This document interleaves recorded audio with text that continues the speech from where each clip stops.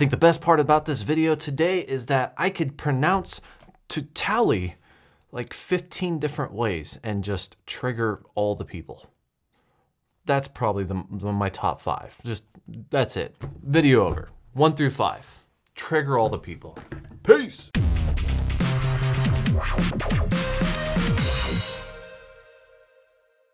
What's up YouTube? Jason here with Byte My Bits and in today's video I want to talk about my top 5 features for Tautulli. Tautulli. Tautulli? But anyways, if you're not familiar with Tautulli, it is an add-on that you can use that runs right beside Plex and gives you way more information on your Plex media server. It's very, very useful. Some people still ask me though, say, Jason, why would you use that? Everything is in Plex. Why do you care about any of the information on Tautulli?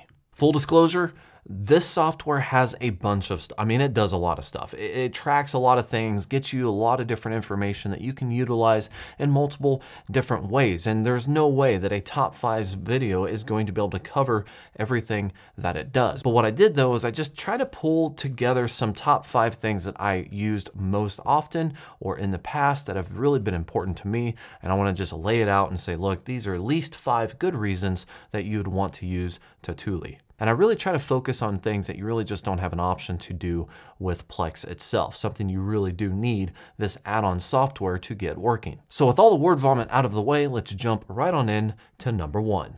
This one hits home for me, and that is IP tracking, or just really user tracking in general. This is not only important because you can track to see what most active users are on your system, which is actually kind of sort of a number five for me, but my thing is IP tracking. It allows you to find out if somebody is treating your Plex login like your Netflix. Scenario numero uno you share your library with a friend or a family member. Said friend or family member shares their Plex login with their friend or family member, and then they share it with their friend or family member. Next thing you know, you got like 10 people logging into your server, all underneath one user that you shared your library with. Now on a lower scale, let's say two or three streams, you might see this in the actual Plex dashboard, see them playing multiple files at the same time, or maybe not, whatever. Point is you can see them actually playing these files and you don't actually know that these are coming from different locations. But if you go into Tautulli, you can actually see what IP addresses are being used and you can track that. And this definitely comes in use if you find out two or three or four, multiple, whatever IP addresses are being used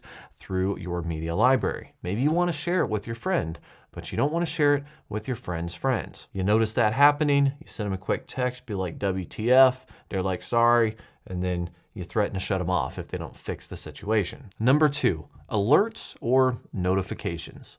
For the purpose of this video, I will demonstrate using webhooks to connect my Plex server to my Discord server, which shameless plug, I do have a Discord server. Follow the links down below if you wanna find out how to get there. Now, of course, there are many different options for notifications, but Discord, Twitter, IFTTT, these are all options that you can use. But with Discord, you can set it up to automatically post any kind of updates that you choose. This could be playing a movie, stopping a movie, pausing a movie, transcoding a whatever, and it will automatically go and post post those updates to whatever you choose it to post it to. So in this particular example, every time I stopped, played, paused, etc., this, this TV show, it posted it automatically to Discord. Now this could be very useful or very annoying depending on how you set it up and depending on how obsessed you are with your content, but it's just, it's totally up to you, but it's an option. But my point is that this is a very robust system that you can actually configure to your heart's desire and find out all kinds of things about your server in real time. So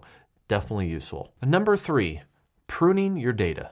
What I mean by pruning your data is deleting stuff, which I know that's, that's like a bad word around these parts, but some people might want to prune their own data. You go, you realize, why is it that I have Gilligan's Island on my server and literally nobody has ever watched Gilligan's Island? Well, with Tautulli, you can actually go in, you can look at this data, and you can find out if nobody ever plays it, then why do you want the whole TV series to be there? So if you're filling up that four terabyte hard drive and you either can't or don't want to add any more storage to it, this can be a very useful tool to go through and delete movies, TV shows, music, etc. Which brings me to number four, server statistics. Now this actually boils down to two things for me. One I touched base a little bit on earlier in the video. The first one, of course, being the most active users. You can actually go in there and see who the most active user is, and then you can do a little bit more research. Maybe see if they're transcoding when they shouldn't be, or maybe sending them a quick text message. Say, geez, calm down, okay?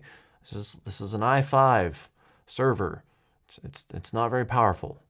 Just, just chillax.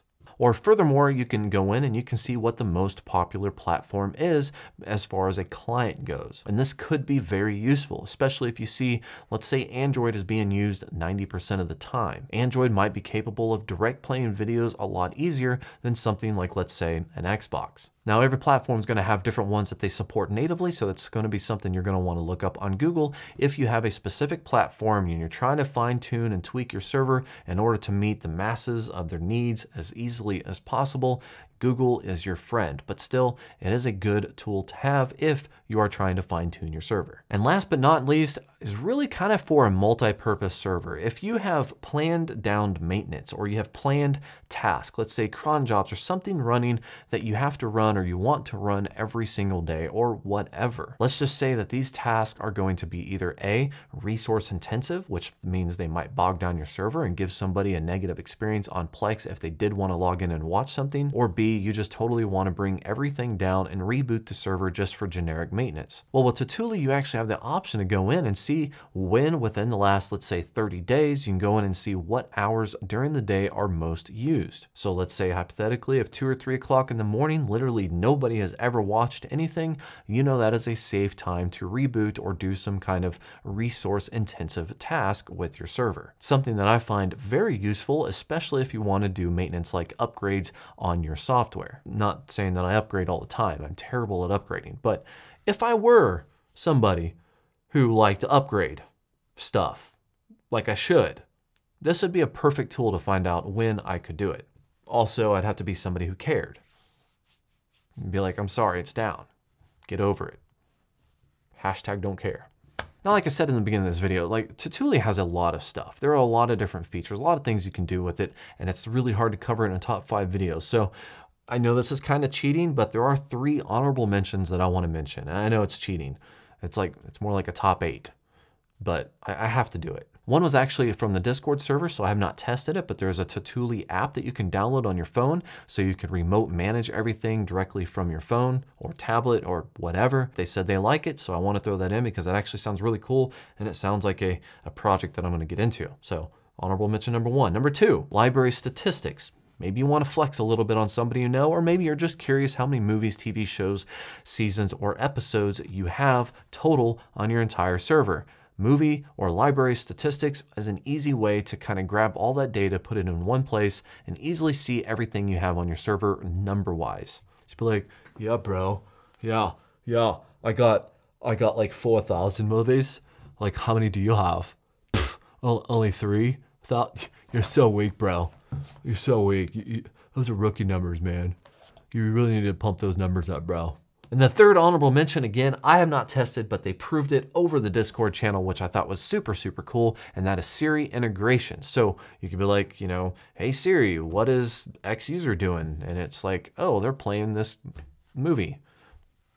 I don't know how I would ever use that, but it sounds actually really cool. Something I want to play with because I have an iPhone and I, I kind of want to mess with that. So honorable mention number three, right? But that's it for today, guys. My top five features for Tautulli. If you use this software and you have favorite features that you you use all the time for whatever reason, please post them down below. This is one of those things where I've explored it, I've tested, and I've, I've found new things like the whole Siri integration without even knowing it existed. So if you have stuff I didn't even mention, throw them down below. I know there's a lot, but I can't wait to read those. But if you have any other questions, comments, or concerns, of course, post those down below. Thank you for watching, like and subscribe, and have yourself a great day.